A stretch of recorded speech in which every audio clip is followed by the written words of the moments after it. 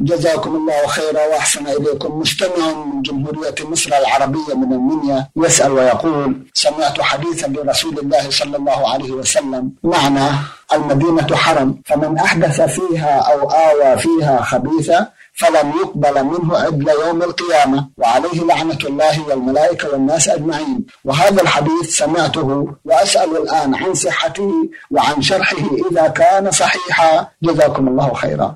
الحديث بمعناه صحيح. المعنى الذي ذكره ورد فيه حديث صحيح وهو أن النبي صلى الله عليه وسلم جعل للمدينة حرما كما للمسجد الحرام حرما. فللمسجد النبوي حرم. شرعه رسول الله صلى الله عليه وسلم. يجب احترامه و وأن يتجنب فيه المحدثات والمعاصي والسيئات وأن لا يقطع شجره الذي ينبت تلقائيا من غير أن أن يزرع أن يزرعه أحد فهو حرم له مثل ما لحرم مكة في الجملة. ومن أحدث فيه حدثا أي ابتدع بدعة أو حدثا في الدين والعياذ بالله أو آوى محدثا يعني ناصر محدثا أو حماه من أن يقام عليه الحد الشرعي من, حو...